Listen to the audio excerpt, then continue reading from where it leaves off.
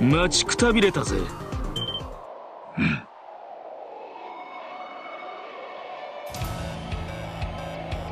サングラス男！野生狼か。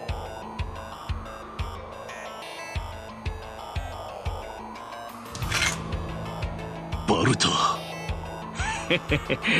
よく来たじゃねえか。ここに来たってことは覚悟はできたみてえだなああ。先生から継いだ活人の剣あんたの邪剣を打ち砕くために振るわせてもらうつもりだ。どうやらジジイの目論見通りになったようだな。先生の目論見通り？どういうことだバルタ！あんたと先生がし合ったのはやはり俺が関係しているのか？だから言っただろうもしそれが知りたければ俺を打ち負かしてみせろってな。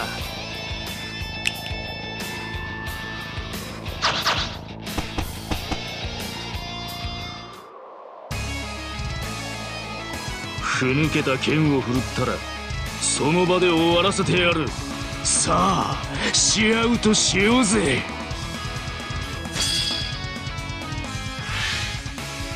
行くよ。アーツ駆動。私の番ね。みんな大丈夫？不動の力見せてやろう。せい俺の番だな。そこだ！せいや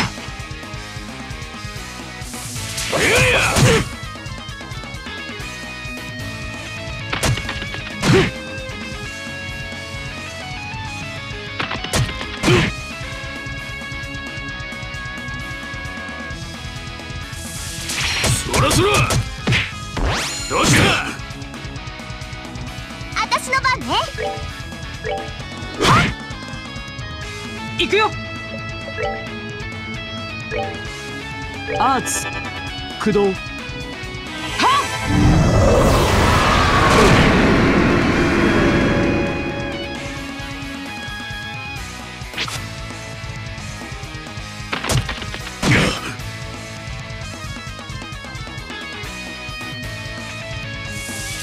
おらおらどうした？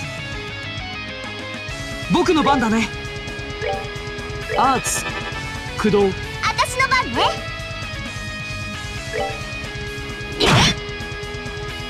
マイル。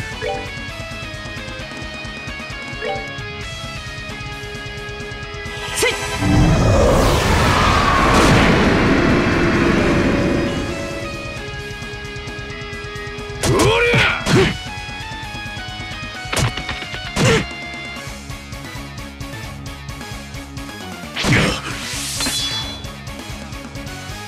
俺の番だな。そこだ。せい。任せて。行くぞ。せい。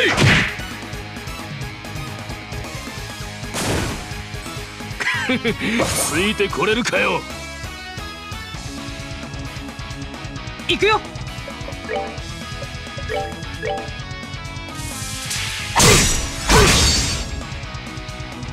ここは俺が引き受けよう。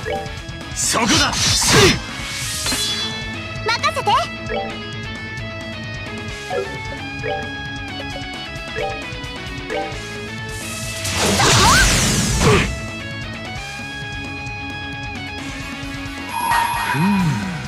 ガキどもが生きがりやがって。いいだろう死ね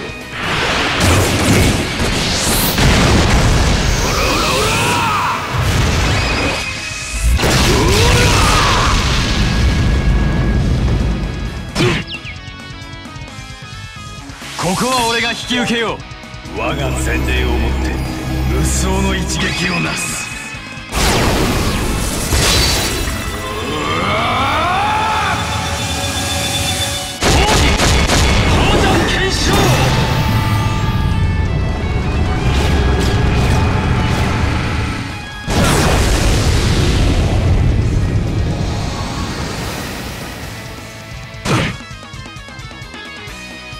任せて。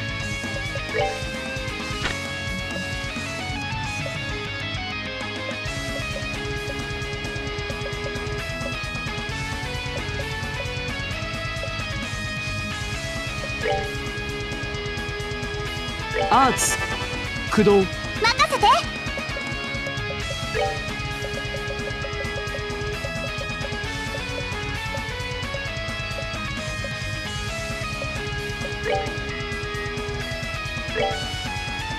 まだいけるわ。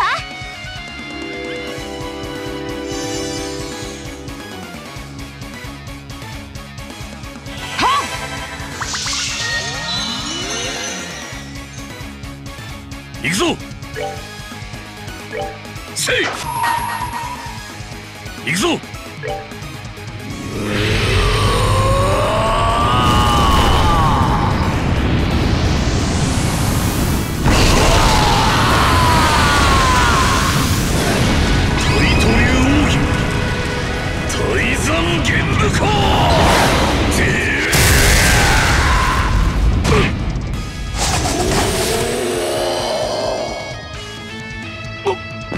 バカな。これぞ勝利の美酒ってやつだな。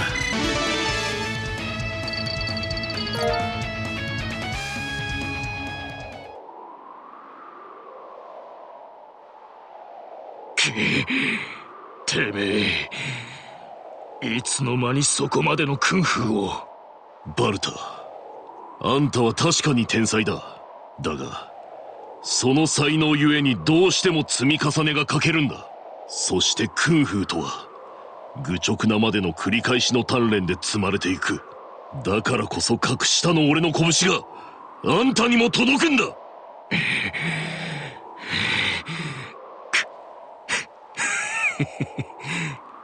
隠したか。ジジイのやつはそうは思っていなかったぜ。え？ジジイは俺に言ったのさ活人殺人の理念に関係なく素質も才能もてめえの方が俺より上だとな。そしてジジイはより才能のある方にタイト流を継がせるつもりでいた。それが何を意味するのか鈍いてめえにもわかるだろうが。だだが俺があんたより格上なんてそんなの冗談もいいところだろう。それに先生がキリカの気持ちを無視してそんなことをするはずが。だからてめえはめでたいんだよ。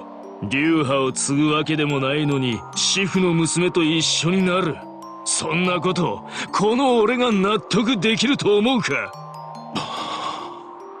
だから俺はてめえとの勝負で継承者を決めるようジジイに要求した。だがジジイはこう抜かしやがったのさ。ジンは無意識的にお前に対して遠慮している。武術にしても女にしてもな。お前が今のままでいる限りあやつの武術は大成せぬだろうと。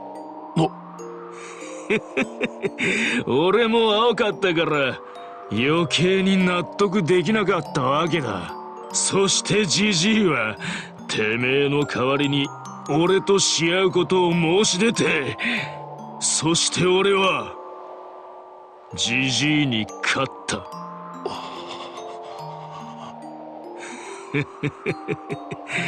これが俺とジジイがし合った理由だ。お望み通り答えてやったぜ。俺はずっと確かめたかった。先生がなぜあんたとの試合に立ち会うように言ったのかをようやく。その答えが見えたよ。なんだと？バルタあんたは勘違いをしている。これは俺も後でキリカに教えてもらったことなんだがあの頃龍河先生は重い病にかかっていたそうだ悪性の腫瘍だったと聞いている。だからこそ先生はあんたとの試合を申し出た。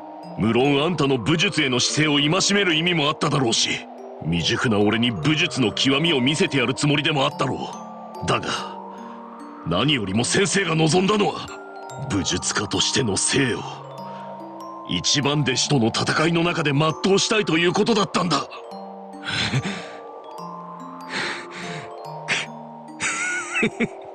なんだそりゃ。そんなバカな話が。あるわけねえだろうが。じゃあなんだ？俺は手よく利用されただけか。そうだとしたら。俺は。確かにそれは。身勝手な話なのかもしれん。だが強さを極めるということは。突き詰めれば利己的な行為なんだろう。それが俺たち武術家に課せられた宿命と言えるのかもしれない。だからこそ先生はあえて己の身勝手をさらけ出した。そうすることであんたや俺に武術の光と闇を指し示すために。バルタ構えろ。何？先生とあんたから学び遊撃士家業の中で磨いてきたタイトの全てをこの拳に乗せる。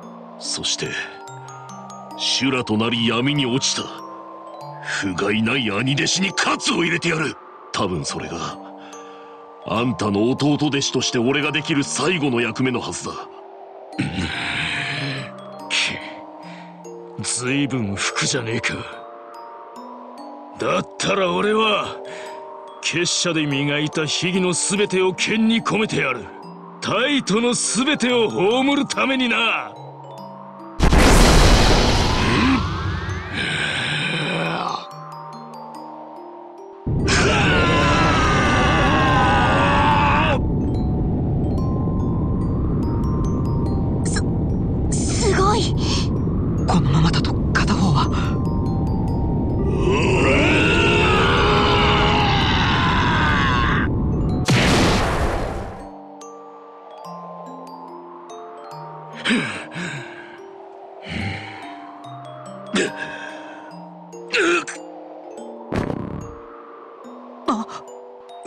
ジンさん。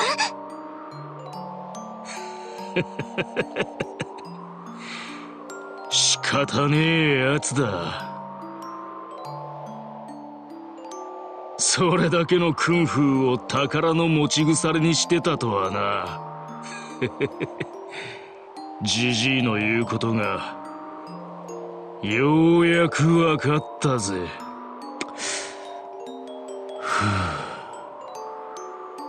めえ本当にタバコがうめえ。